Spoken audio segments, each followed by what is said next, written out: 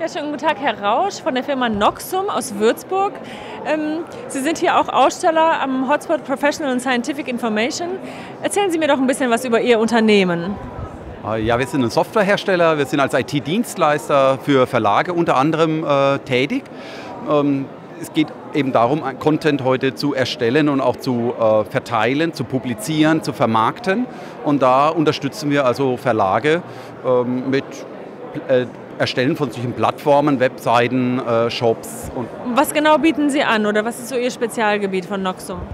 Ähm, Im Prinzip bieten wir natürlich die, die, die Lösung, die IT-Lösung an. Einhergehend natürlich die, das Consulting und das Projekt. Für E-Books oder für ähm, im Prinzip geht es um Paid Content, ja. Ob das dann als E-Book oder als PDF oder als generiertes PDF äh, stattfindet, das ist dann vom Kunden abhängig.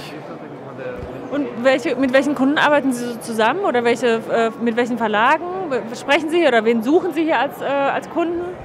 Ähm, ja, Im Prinzip haben wir zwei große Verlage als Kunden. Das ist einmal die Stiftung Warentest und deren Portal test.de. Da sind wir also quasi verantwortlich für den gesamten Online-Content-Vermarktung äh, und zwar die IT-Dienstleistung dazu. Und zum anderen der Walter de Gruyter Verlag, mit dem wir quasi äh, so Pschyrembel oder die äh, Enzyklopädie of the Bible, das ist ein Werk, äh, wo tausend Autoren äh, dran sitzen und die brauchen natürlich entsprechende Erfassungsmasken äh, und damit der ganze Content natürlich prozesssicher eingesammelt wird da machen wir die Lösung.